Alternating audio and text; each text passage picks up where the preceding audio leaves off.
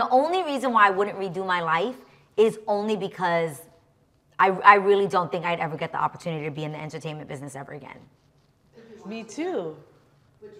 Yeah. I really have. I've loved.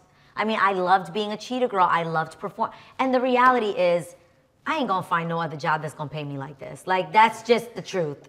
No, I'm the honest. Like that's the honest. I I would have to really. I don't know what the heck I would do. That's I'm being honest. We gonna keep it real. Like.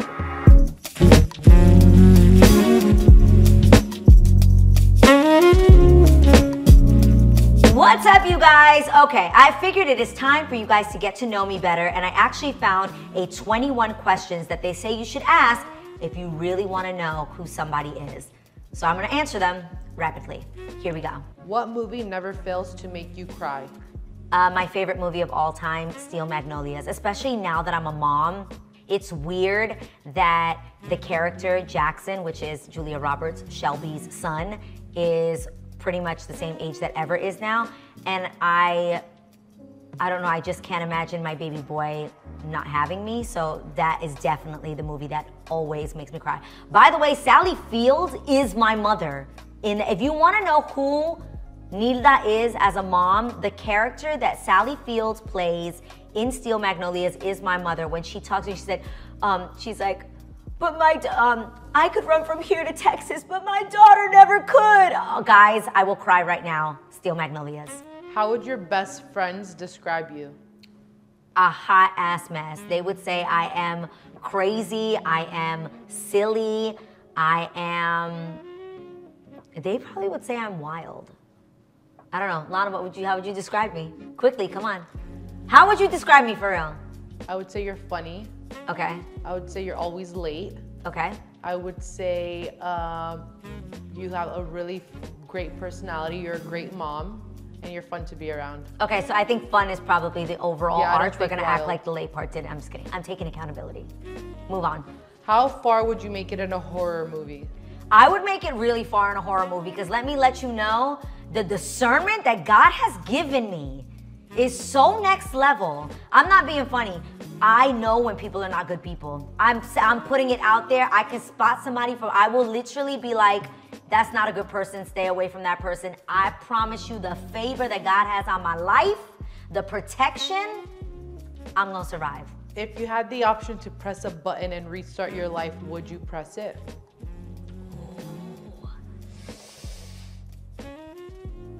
I want I I want to say no, and I feel like and I love this uh, quote that says, "If I would have changed anything, it would have changed everything." And I really love where my life is now, but I'm gonna press start over. I'm starting over. I know too much. Do I get to go back and know what I know now, Sure. or do I just have to start over? No, you. Because if I start over, I don't know if I'm gonna have the same, the same. Because I'm not gonna lie, the opportunities that I've been given are one in a mil. No, I'm not starting over. Forget it. I'm not starting over. Okay. I'm not starting over. What is the most worn item in your wardrobe? Um, definitely not panties. uh, what is the most of the most worn item in my closet? The most worn item in my closet. Most worn item. I mean, guys, I am a repeat offender on a whole other level. Honestly, my workout clothes. I wear workout clothes nonstop. That Target dress had you in a chokehold. Oh, I did. Future Collective did a black Target dress that I swear I wore like four times. That, oh no, was that the one? Yeah. No, just recently that Amazon black jumper. Oh yeah, yeah. The Amazon black jumper. We'll link both of them here so that you too can wear them repeatedly.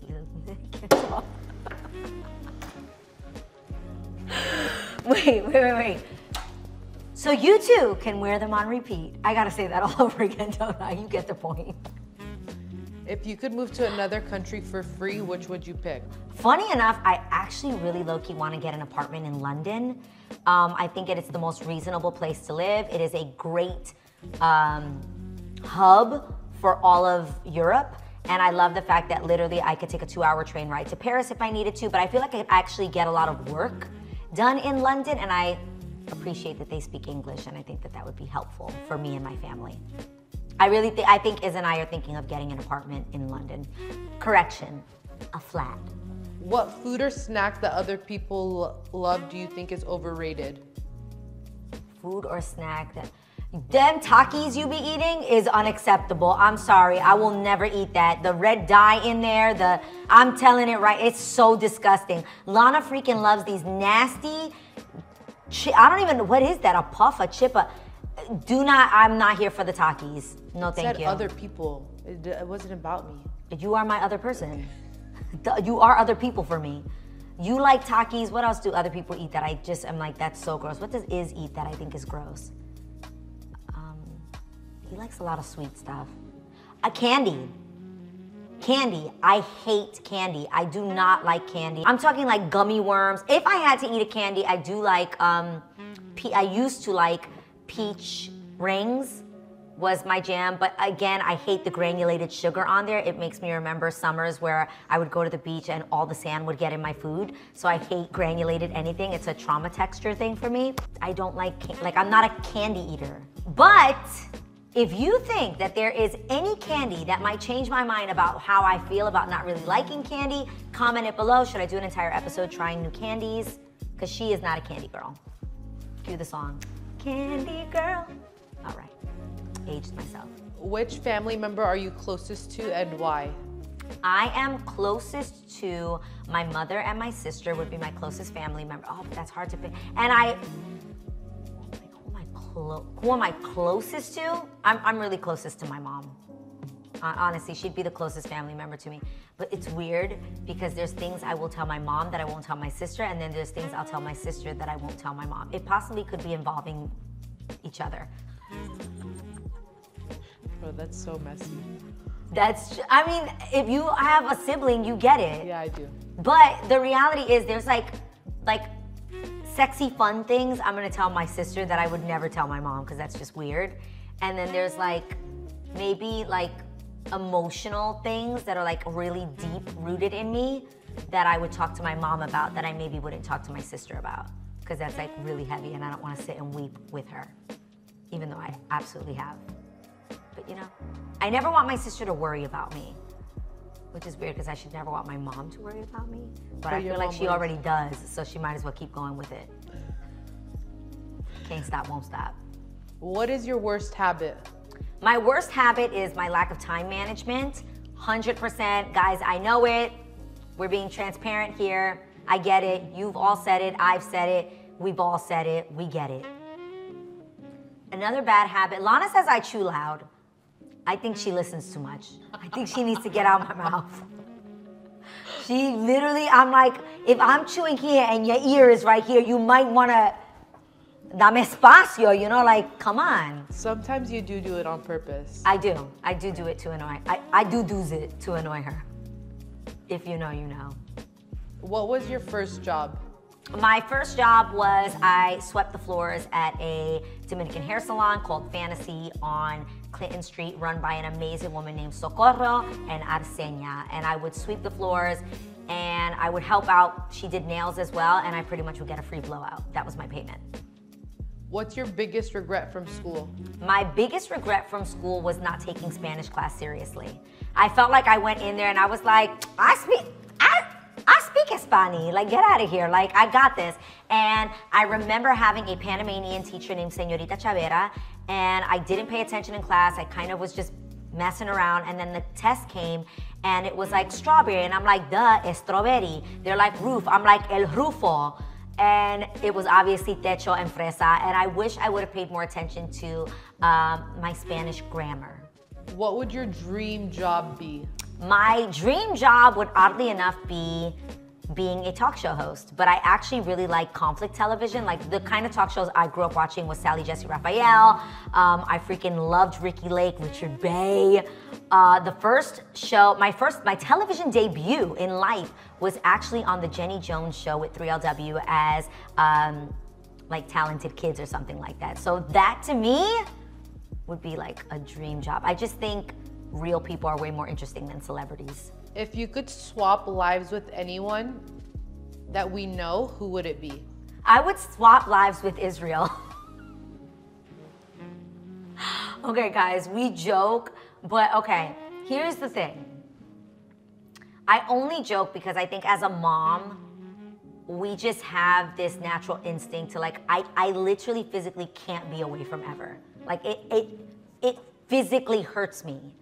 Versus like I think it's dope that dads like can step away. I think they're able. I think that's how they're built to, you know, financially provide for a fa- I think there's just men and women are built differently in those ways, I think. I don't think that's for everyone, but I, sometimes I'll see him and he's like traveling for work and I'll just like mess with him and be like, wow, to be a dad. I'm coming back as a dad in the next life. I'm coming back as a dad, but it's actually a joke. Okay, if there's somebody I know personally that I want to switch lives with, I don't. I mean, I w- honestly I want to have Israel's throat. Like the vocals, I want to be able to play multiple instruments. I would want to be able to perform the way he does, travel the way he does. Is is lives a, is, is lives a good life? No. Where do you feel most yourself? I feel most myself at home. Actually, no. Crazy enough, I feel most myself at my sister's house, surrounded by my family. I feel like I don't have to be hosting because it's not my house. I'm in my sister's house, but it's like our family house. And I also feel like a child because my mom is there.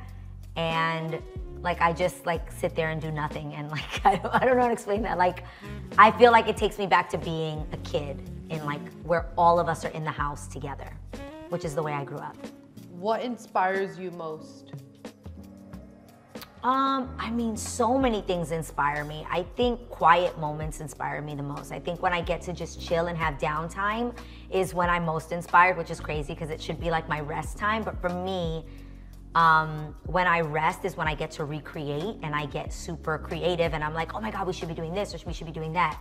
Um, Lana, where, do, where would you say I get like a lot of my, like, where do I get inspiration mm. from? Every time you go in the shower, you come out with an idea. That is true. Yo, the shower, God be talking to me in the shower.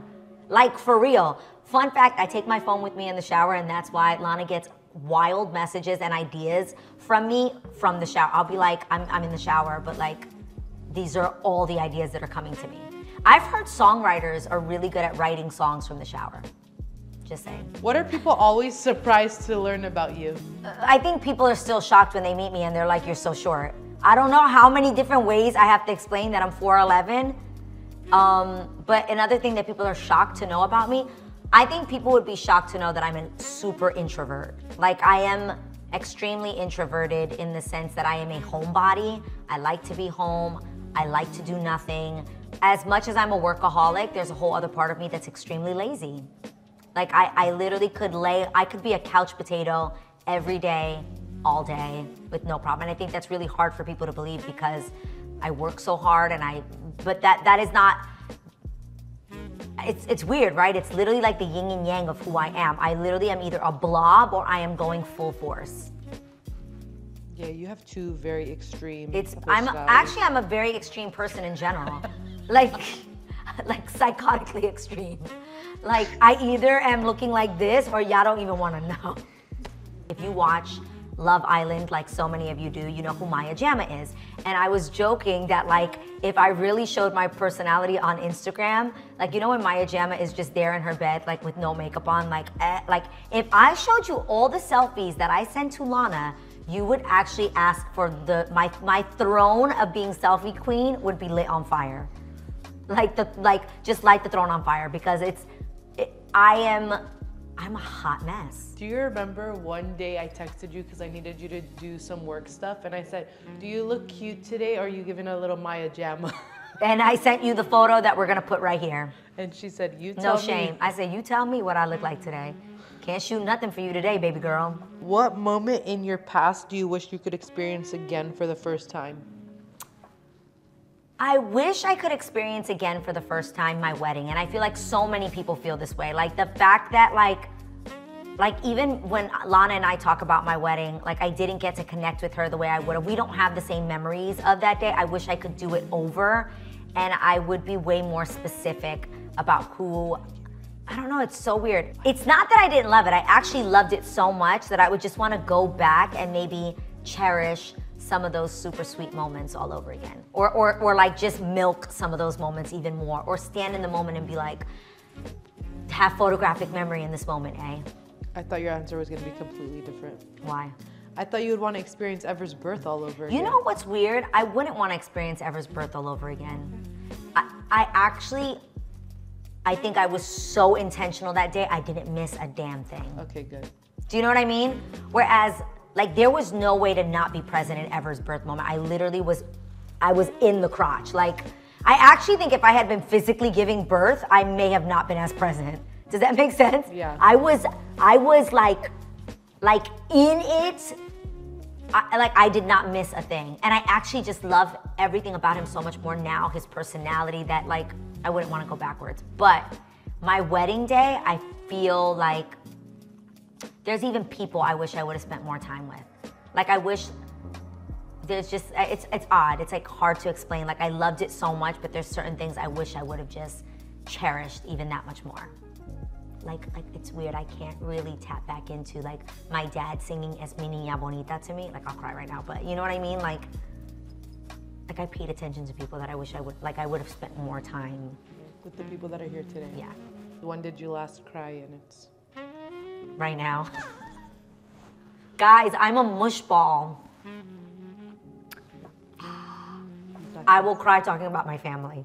What's one dish you can make from scratch without a recipe? Oh, I can make a lot of things. I can make without honestly, I never use recipes for anything. So I literally I don't follow instructions well in general. That was on my report cards in second grade, and it follows through. Uh, what dish can I make without a recipe? Okay, honestly, I kind of have created my own version of arroz con pollo in a pot and I made it for New Year's Eve and no, for Noche Buena, and my whole family went crazy. They were like, "This is the best thing I've ever tasted." Like, ev- my mother, my aunt, they were like, "Who made this?" I was like, "Me," and they all were blown away. And the fun fact is, I didn't know what the heck I was doing. I just kind of threw it all in there together, and it tasted bomb. So I would say my arroz con pollo in a pot. Um, is definitely my go-to. Need no recipe, make it happen meal. Bring in the tissue because it's about to drop right here. Who would you, hold on. Thank you. Who would you trust to help you bury a body? You, duh. I'm not doing that. But I would trust you. I would trust Lana, you guys, to bury a body with me, but we're not doing that because I have nightmares of like, I, I, I just would not want to deal with that kind of guilt. Like, why am I burying a body? We're not burying a body. I'm just, I'm not killing anybody. I would never kill anybody. There's no reason to kill people, ever. Like, I literally love that show Dateline, and on a daily basis, I'm like, let me get this right. So you could have gotten divorced and been with that new chick, but you wanted to kill your wife and your whole family. Help me understand how you thought people were gonna be disappointed by your divorce, but not by you being a murderer. Yo, I, I will never understand it. Like literally, I will never understand it. It actually makes me cry. Just kidding. Last question. And Okay, be- last be question? So honest. Okay, What app do you use the most on your phone? Instagram. You do be on that editing app all day too, Which one? where you make your reels. Oh, video. Oh, Video Leap. I do like Video Leap. I do like it. But the other app that I'm, I love Instagram. I mean, I really do love Instagram. I would say Instagram is probably what I spent the most time on. The second one would be Zillow. I love me some Zillow. Let me know if you want to do a sponsorship deal. What about YouTube? I do. I well, here's the thing. YouTube plays in my house every day, all day long, because of my son. So we absolutely love things like Aprende con Isa, which is Aprende Peque. We love Atención Atención. We like literally all his learning and songs. We just got into Los Meñiques de la Casa. Um, what's the other ones we really like? I mean, literally, YouTube is on every day, all day in my house. Well, I hope that you guys enjoyed this YouTube video. If you did, give it a like. Also, I can't wait to hear from you guys in the comments below. Let me know what you thought about all these wild answers. And make sure that you click the notification button so that you're notified every time there's a new episode of Love Always Adrienne. I'll see you guys next week. Besitos.